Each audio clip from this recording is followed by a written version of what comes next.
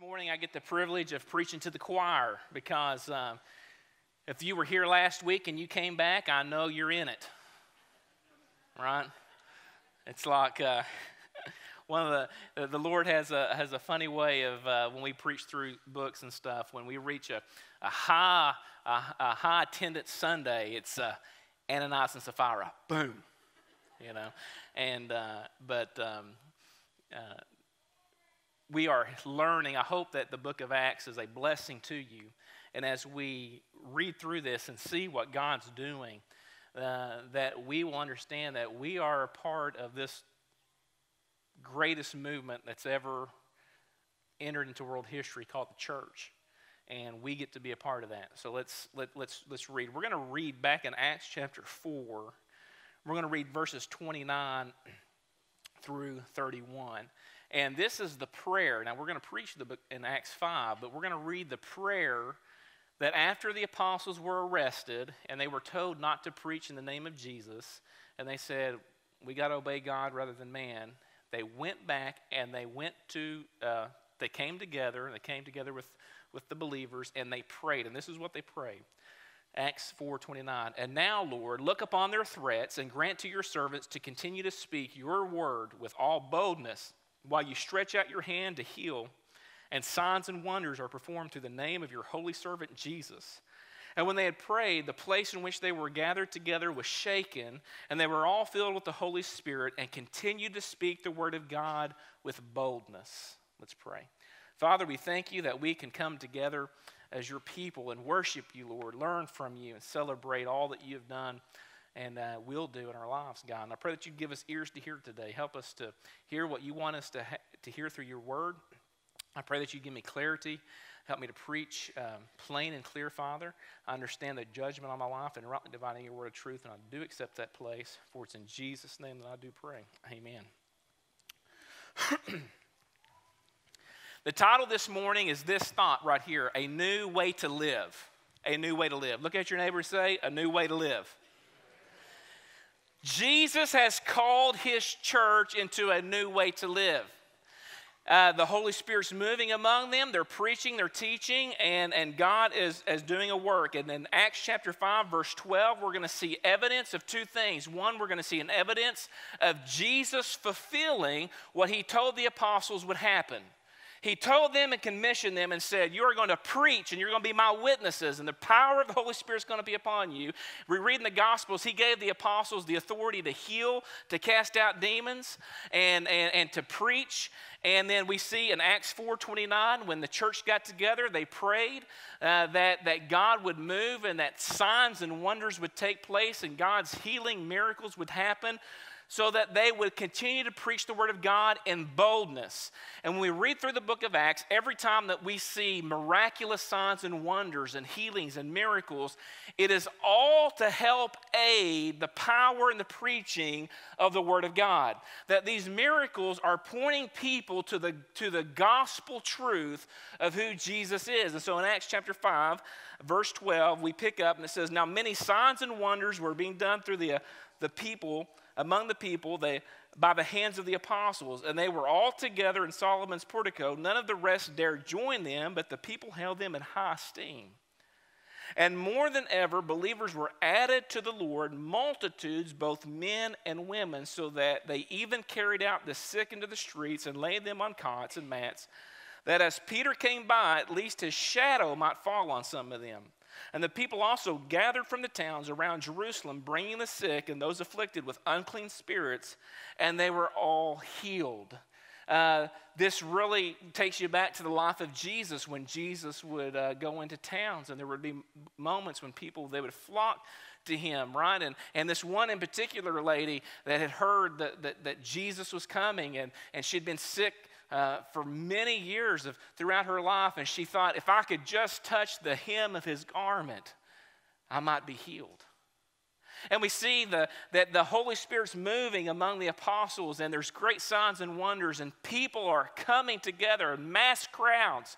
Thousands of people are coming to faith to believe that Jesus is the Messiah, the Lord, and there's gathering once again. There's a huge gathering of people coming to hear Peter and the apostles to see what's going on, to receive healing, and they're hearing the teaching God's word. And, and, and the, the religious elites look and see, and, and they don't like it. They don't like what's going on. Verse 17. But the high priest rose up, and all who were with him, that is the party of the Sadducees, and filled with what? Jealousy. Or some of your translations say indignation. And filled with jealousy, they arrested the apostles and put them in public prison. Filled with jealousy. What are they jealous about? Well, their power is being threatened. Their system with Rome's being threatened. Their, their whole religious belief is being challenged. And jealousy is a powerful motivator to attack, is it not? If you're jealous, if you're filled with jealousy, you can't stand to see someone or, or, or some, something be successful or more successful than you, right? And so what's happening is that there's all kinds of people coming to listen to the apostles. They're hearing this teaching.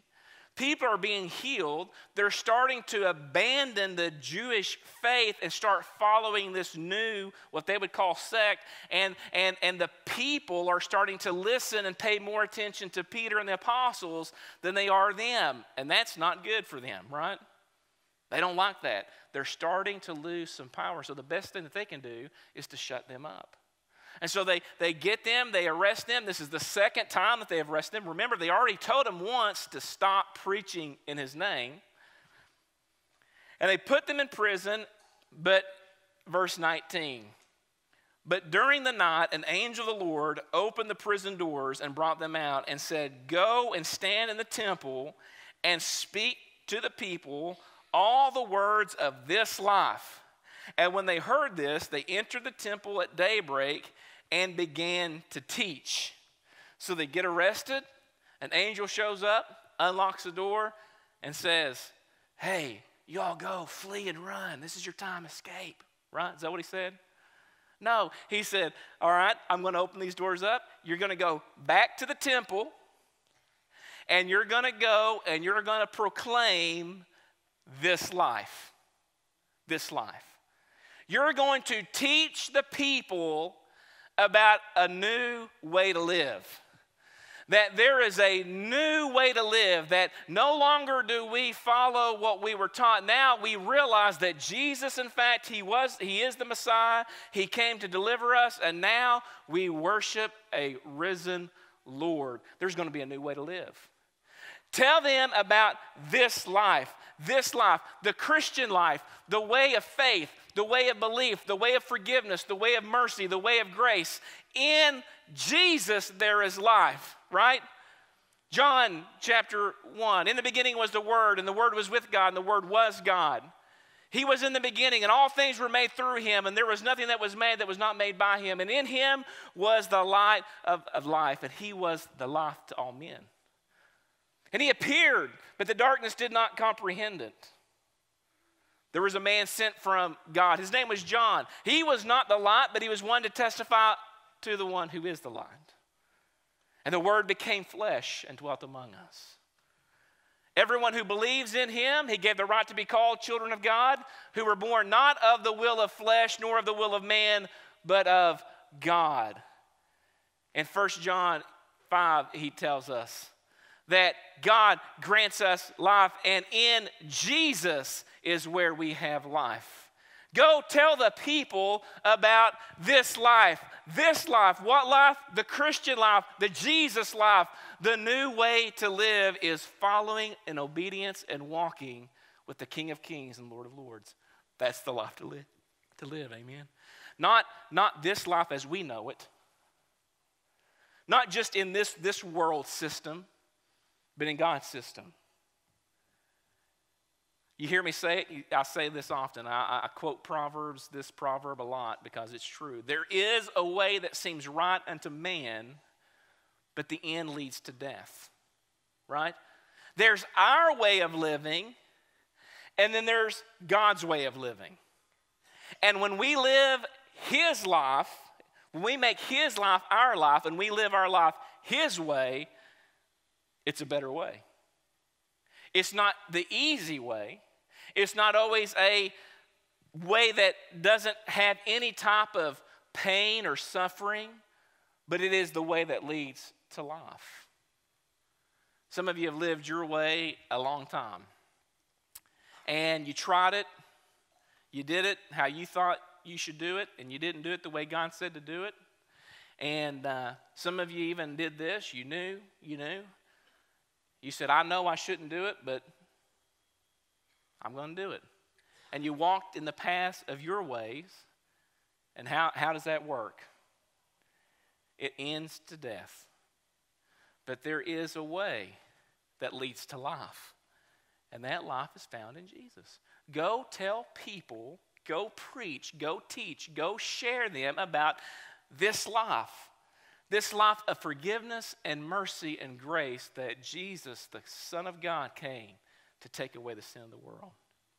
Share with them, tell them about this life. And that's what they go do. They go into the temple and they start preaching this life. Now, when the high priest came and those who were with him, they called together the council and all the Senate and the people of Israel and sent to prison to have them brought. But when the officers came, they did not find them in the prison, so they returned and reported. We found the prison securely locked and the guards standing at the door, but when we opened them, we found no one inside. Now, when the captain of the temple and the chief priest heard these words, they were greatly perplexed about them, wondering what this would come to. And someone came and told them, there was some guy that was out there at the temple, heard them, came running and told them, said, said, the men you put in prison are standing in the temple and teaching the people. So they come back and they say, that guy you locked up that y'all can't find, I know where he's, I know, I know where they are. They're out there, they're out there teaching, preaching, same place that y'all took them from. They're back at it again. You better go get them. Then the captain with the officers went and brought them, but not by force, for they were afraid of being stoned by the people. A lot of people were listening to what Peter and them had to say, so uh, they had to be uh, sensitive how they, they got them back because they didn't want people to turn on them. Now, notice what happens. And when they had brought them, they set them before the council, and the high priest questioned them, saying, We strictly charged you not to teach in this name. We did we not tell you? we told you stop teaching and preaching in this man's name. We've told you once. This is the second time we're telling you stop it. And I have to ask this question again. What is it about the name of Jesus that gets people so in an uproar? Huh? What is it? What is it about Jesus? You know, because if you, you can pray in the name of God, you can pray a generic prayer to God, right? God bless this. You know, and if I'm in a if I'm in a group of people that have different types of belief systems and different religions, Every religion then can hear the word God and then they go ahead and identify their own God to that term God. You with me? So if I just pray to God, that can be a safe prayer. Because people can interpret that however they want to. It can be the God of their own understanding. But when I name the name Jesus, now I am clearly defining who my God is. And our culture does not like that, does it? Now, when Peter and, and John and the apostles were preaching this, they didn't like it because the name of Jesus was upsetting their power and influence. The reason why I believe that our culture doesn't like to hear the name of Jesus is because the God of America really is the God of self. We love ourselves so much and we love the, our autonomy that we are independent of anyone and anything. We love the idea of our own personal freedom and our free will and our independence, that there is no one, nobody, no person, no institution, no church, no nothing that's going to tell me what to do. Kind of like when John the Baptist came preaching. Remember John the Baptist? John the Baptist came, he's wild man preaching. Repent, the kingdom of God's at hand. Oh, King Herod went by. What'd he do? He calls out old King Herod, Repent! He was sleeping with his sister in law. And he called him out and said, that, that's, that's abomination, that's sin. We hate to be called out. How dare anyone say that we're sinners? We don't want to hear that. That puts us in a bad place. We start getting nervous. We start looking for a safe space. Don't tell me I'm a sinner. Don't tell me that I need a Savior. You can't tell me that I've sinned. Who are you to tell me that I have sinned? The Bible says that we're sinners. Well, what's the Bible? What's the Bible have the right to tell me that I need to repent? We do not want to submit to authority. We don't want to believe that we're wrong. Why? Because we've raised a generation telling them how great they are. We gave them all participation trophies and said, Everybody's so good. You're so wonderful. And we stopped parenting. We don't want to spank our, we don't want, we, we, we got real educated in the, in the 80s and 90s, and uh, I think it started maybe in the 70s, and with this new psychology and understanding of uh, parenting. You don't ever want to spank your child. No, it might hurt their, it might hurt them. No, you know, you need to um, you just put them in timeout. One, two. Now I'm about to get to three. Don't let me get to three. One. I tell you, I, I see parents do that. I, I want to take over. I just want to take over. I want to take over. Why? Because when they're a young age, you know what? They're doing something they're not supposed to do. Stop it. That's, you, you don't do that. You don't do that. They need to realize there is a consequence for their poor choices, that every poor choice has a bad consequence, and that, that you need to teach them to understand to submit to the authority, and that they need to know right from wrong, that they're not always perfect and they're not always right. And so we have this whole culture now where we think everybody, but we're, we're just never wrong. And if you say something that disturbs me, I might have an emotional breakdown. and we have, we have universities that, that can't allow a, a Christian to come and speak. Why? because they may say something that, I disagree with, and I just I can't handle it. That's hate speech, and I don't, oh gosh, what are we going to do?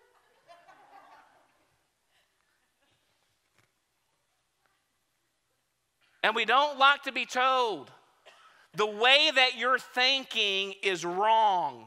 The way that you're living is wrong. The way that you're doing life is not appropriate or it's not God honoring. You must submit to the Lord God Almighty. There is a God and maker and creator of all things, and there is a judgment one day, and everyone will be held accountable, and we will give an account unto God and you will give an account for every word you have spoken, every thought that you've had, and, and you will stand in judgment. And we do not like to hear that message that I am a sinner that needs to repent of my sin and place my faith and trust in Jesus.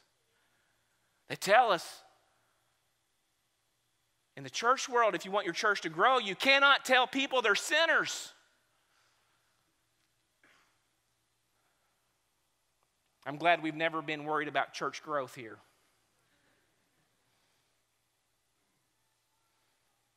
Because Jesus is not interested in a crowd, He's interested in a congregation that is living His life, not our own life. It's a new way to live. And Jesus calls us to a new way to live. And in our culture today, if you stand up for the name of Jesus, you may be ridiculed or mocked. It's okay. It's okay. Do not preach in this name. And then they say, You have filled all Jerusalem with your teaching. Man, wouldn't that be, wouldn't that be great? I mean, what a, that was a compliment. You know, they were like, You're trying, you're corrupting this whole, this, this, this whole Jerusalem's been corrupted by your teaching. And Peter and John are like going, No, we've been, we're saving people in this, in this city. Wouldn't it be a wonderful if it would be said that Living Water Church and the believers in this county that, that we lived our lives in such a way that we filled the whole county with the teaching of Jesus? That the whole surrounding counties with the teaching of Jesus? That, that the Christians in the state of Kentucky was so living their faith out that they fill the whole state of Kentucky with the teaching of Jesus that the whole nation, the whole United States of America is flooded with true believers living out their faith in Christ. They tell him, they say, You intend to bring this man's blood upon us. And Peter and the apostles answered, We must obey God rather than man. Is that never going to stop attitude that we see once again? We've got to obey God rather than man. Now, anytime that our government or any institution or any boss or anyone, even your parent, if they are telling you to do something that is contrary to the Word of God, that goes against the Lord, you're obligated to obey God over man. Now, if, if you work uh, if you have a, have a boss and, and, and your parents or whatever situation that you have somebody over authority over you and they're not asking you to do anything that's unbiblical, they're not asking you to compromise what the Bible says, you're to obey them. But when it comes to the point of you're asking me to disobey God, I cannot do that. I have to obey God rather than man. And they preach, and what they say, the God of our fathers raised Jesus, whom you killed by hanging him on a tree. God exalted him at the right hand as leader and savior, or prince and savior, to give repentance to Israel and forgiveness of sins. And we are witnesses to these things, and so is the Holy Spirit, whom God has given to those who obey him. What do they do? They use that as another opportunity to preach the gospel. I say, no. You handed over the leader, the prince of life, the author of life. He said that back in Acts 3. You handed him over to be killed, but God raised him from the grave so that repentance and forgiveness might be offered to you. The amazing invitation of God's grace.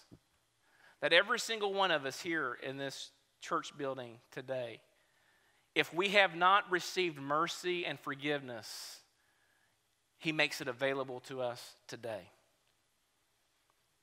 That he died so that your sins might be forgiven, that you may be made right before a holy God, that you don't have to pay for your sin, that you can plead the blood of Jesus and call upon his name and receive mercy and forgiveness. And today, if you have never placed your faith in Jesus as Lord and Savior, today would be the day to say, Lord, I believe you're the Prince, you're the Savior, you're the leader into salvation. It's your way, and I want to know you today because he is the Prince of Peace, the King of Kings, and the Lord of Lords. And the government will be upon his shoulders, and to his kingdom there will be no end. So he gives the message. They have to discuss what they're going to do because they are so mad, they want to kill them. Look at that. When they heard this, they were enraged and they wanted to kill them. Not every time that the gospel is presented will people respond with applause. True? If you make a stand for your faith, if you're in college, you make a stand for your faith, there will be people who will ridicule you, mock you, say things to you. if you're at your job, at your workplace, and they're talking about and they're sharing their views and ideologies, and you share yours and your faith and belief in Jesus, uh, you could be shunned. Could happen. Get ready for it. The apostles, they weren't, they weren't afraid of the persecution. In fact, they expected the persecution. Why? Because that's what Jesus said would happen. He said, I'm going to send you out like sheep among wolves. You're going to go out and you're going to pro- proclaim the gospel, and they hated me. Guess what? They're going to hate you. The slave is not greater than his master, so if they, they persecuted me, they're going to what? Persecute you. If we are born again believers and Christians, then there will be people who do not like what we stand for, right? Life's not always going to be easy. There's going to be difficulties. But Jesus said, I will be with you always. And he made that promise to them. Now, there was a Pharisee in the council named Gamaliel. He was a teacher of the law, held in honor by all the people. This was also, he was the teacher of Paul. Okay, Paul studied under him. He stood up and he gave orders to put the men outside for a little while because they had to have a conference meeting about what they're going to do with them. And he said to them, Men of Israel, Take care what you're about to do with these men, for before the days of Theudas rose up, claiming to be somebody, and a number of men, about 400, joined him. He was killed, and all who followed him were dispersed and came to nothing. After him, Judas the Galilean rose up in the days of the census and drew away some of the people after him. He too perished, and all who followed him were scattered. So in the present case, I tell you, keep away from these men and let them alone. For if this plan or this undertaking is of man, it will fail. But if it is of God, you will not be able to overcome them, and you might even be found opposing God. And so this Pharisee steps in. He gives them some counsel. Now, when we hear his advice, it sounds like very extreme wise counsel, but part of his statement isn't completely true. It's ultimately true, but not, not necessarily true in the here and now. He says, if something is of man, it will fail. Well, there's sometimes there's things that get started in the power of man that last for a very long time. Ultimately, in the end of end time, it will fail. But you think of you think of Islam. That's started by man, not God. And it's been around for a long time. Mormonism, started by man, not God. It's been around for a while. Okay? But what he says at the end is for sure true that when God starts something, it will not fail. When, if God's behind this, he says, there's nothing we're going to be able to do to stop it. And that's exactly true. Why? Because Jesus himself said, I will build my church. He is the head of the church, the leader of the church. He protects the church. He says, I will build my church, and the gates of hell will not prevail against it. And so the church of Jesus will remain until he returns and it will not fail. Now, there may be times and seasons in certain continents and certain geographical locations where it seems like the church is moving greater than it was once before, but the church the, will always be, it will never fail. There is nothing that's going to stop God's movement. We're part of that. We're a part of this movement called the church who preaches and teaches and lives out this life we call faith in Christ. So they took his advice, and when they had called the apostles, they beat them and charged them not to speak in the name of Jesus and let them go. Now, after they beat them and said, okay, one more time, stop speaking and teaching in his name. Look how they responded. Then they left the presence of the council rejoicing. That's different, isn't it? They left the council rejoicing. Why? that they were counted worthy to suffer dishonor for the name. Who's the name? Jesus. They count it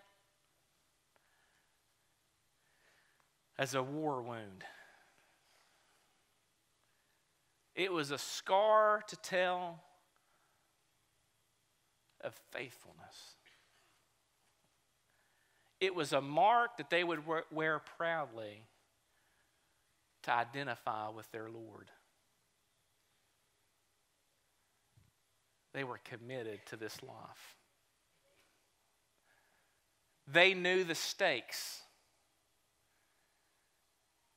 And when they were warned to stop preaching and teaching in his name, they did it all the more. And they continued in the temple and from house to house, they did not cease teaching and preaching that the Christ is, that Jesus is the Christ, that Jesus is the Messiah. Now, watch this. They were in it. They weren't on the fringe. They were told up front by Jesus that when you follow me, expect people to hate you. When you follow me, he didn't give them an altar call and say, Well, if you'll just follow me, your life's going to be so sweet and dandy and gumdrops and roses and everything's going to be wonderful and all your life's going to be great and it's going to be wonderful. All your problems are going to work out. No, he let them know up front if anyone wishes to be my disciple, he must pick up his cross daily and follow me. You must deny self and follow me. And what I'm afraid that has happened in the church is we have people who are on the outside and around Christ, but they're not in Christ. And they love to be around it, but they're not committed to it. It happens this way. Sometimes we do this. My life's going, it's, it's all falling apart. I don't know what to do. I tell you what I know what to do. I'll, I'll go to church and, and maybe, you know, my marriage will get saved, my kids will act right, and I'll get a job and all this stuff. And so I come to Jesus and I, I re- re- repeat the prayer the preacher says to me. I'm like, yeah, yeah, anything, anything to try to make my life better. And then two, three months down the road, things still don't change. You're like, ah, pfft, I knew that Jesus stuff wouldn't work. That's because that's not salvation. That's not conversion. Conversion isn't coming down and saying, Jesus, I want you to make my life better. Save me. That's not salvation. Now, that's what we've preached in America, but that's not salvation. Salvation is when I realize that I am a sinner and I have offended a holy God and I need to be forgiven and I go to the altar and I say, Lord Jesus, forgive me of my sin, save me. Whatever you want me to do is what I'll do. Wherever you want me to go is where I'll go. I will say what you tell me to say. I will walk the path that you lay out for, for me. I will live your life. If I need to go through the valley, I'll go through the valley. If I need to go through the fire, I'll go through the fire. I am in it with you. I am in it to serve you. I am in it to glorify you. I am in it to honor you. Some of you have been on sports teams, and you've played on teams when there's been people that really aren't there to be on the team. They just want to be on the team. They don't really want to commit to the team, but they like the jersey, they like the cool bag, and they like to say and, and say that they're on part of the team, but they really don't want to commit to the team, right? We've all, we've all seen, seen that happen. I think what happens in the church is we have a lot of people who love to have a Bible. I like to say I go to church. I like to think that I am um, someone who people will, let, will have the appearance that I'm a believer. But now, Lord Jesus, don't ask me to do anything that I'm uncomfortable with. Don't ask me to really be a witness. I mean, I love being a Christian on Sunday. I put my Jesus shirt on on Sunday. I take my Bible to church with me, or I have it on my phone. I say, and and um, and and I'll, I'll I'll sing a few songs. And but now, don't ask me to live out my faith Monday through Saturday. When I'm with my friends and I'm, I'm, I'm, I'm, I'm doing things that I want to do, Jesus, don't interrupt. I don't want, you know, I'll call you when I need you. That's not faith. That's not faith. If you're going to walk in this new way of living, it's surrender, it's obedience. It's saying, Lord, do you, you understand what you say when you say Lord? I know we don't live in a kingdom, so we don't have lords. But a lord is someone who rules over you. Right? So when you call Jesus Lord, what are you admitting to? That he is to what? Rule over you. Rule over your mind, rule over your heart, rule over your mouth, rule over everything that you do is to be under submission to Him. It's a new way to live. Because before I'm a believer, I lived my life to please who? Me. I sat on the throne of my life. I made all the rules. Is everything that Grant wanted to do. But when I become a believer, when I am saved, I have a new Lord over my life. It's no longer me, it's Him. And my aim in life is to please Him. I would rather be hated by men and loved by God than hated by God and loved by men. This life is very short.